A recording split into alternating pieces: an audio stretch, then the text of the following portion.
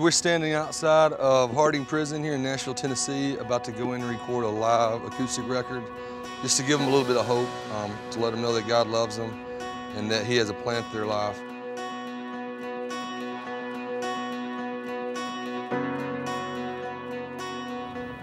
I kept making the wrong choices. I was ready to give up. I didn't want to live anymore.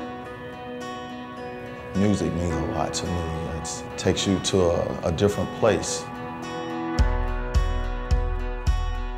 This is an honor and a privilege to get to come in and share what you've done in our lives with these inmates and hopefully win somebody for the kingdom today.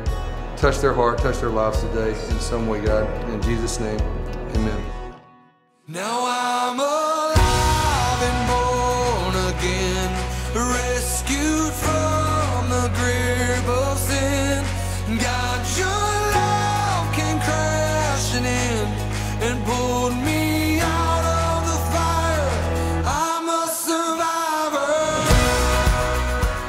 People really care about us. Even though we're in here, you know, done wrong in life, there's people that actually still care about us and want to help us when we get out. Today was the first concert I've ever been to in my life, and that's a blessing. Um, and it happened in a prison, so um, it was a feeling that I've never felt before. Yeah, basically life was good today. Thank y'all so much.